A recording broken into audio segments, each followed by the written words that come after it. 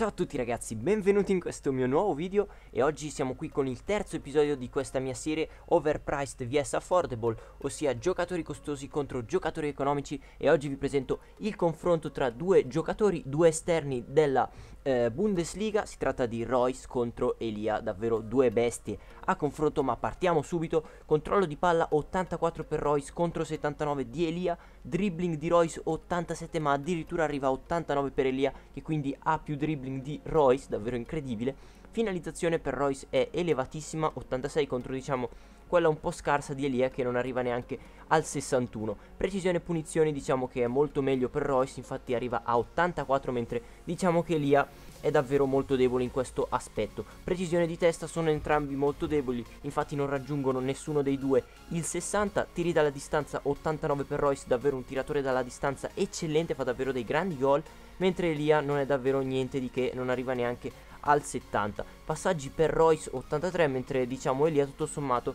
è decente con 75, potenza tiro per Royce 85 contro 74, tiri al volo 84 contro 73. Passiamo ora alla parte fisica di questi due giocatori che sono diciamo mh, sta prevalendo per ora Royce ma vediamo se Elia riuscirà comunque a riprendere eh, Royce. Partiamo dall'accelerazione 89 per Royce contro 93 di Elia davvero elevatissima per questo giocatore olandese.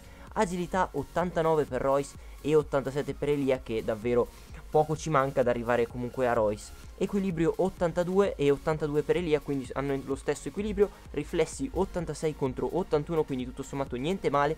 Velocità scatto 92 e 92 anche per Elia quindi davvero due giocatori velocissimi. Resistenza 78 mentre 90 per Elia.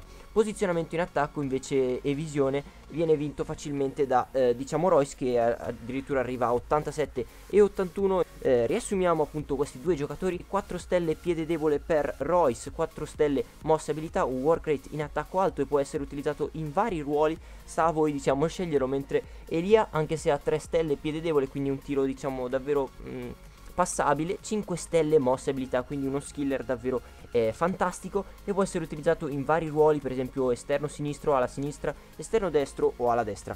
Riassumendo il confronto tra questi due giocatori Elia è un grandissimo giocatore e sul piano fisico riesce addirittura a tenere testa a un super giocatore come Royce. Inoltre ha 5 stelle mosse abilità che eh, sono superiori a Royce. A mio parere il prezzo di 100.000 crediti per Royce eh, è adatto, infatti questo giocatore è davvero completissimo, riuscirà a fare tutto e lo farà davvero molto bene. Questo io spero che vi sia piaciuto questo mio terzo confronto tra eh, due giocatori, uno costoso e uno meno costoso, continuate a scrivermelo nei commenti chi vi piacerebbe vedere, detto questo ci vediamo a un prossimo video.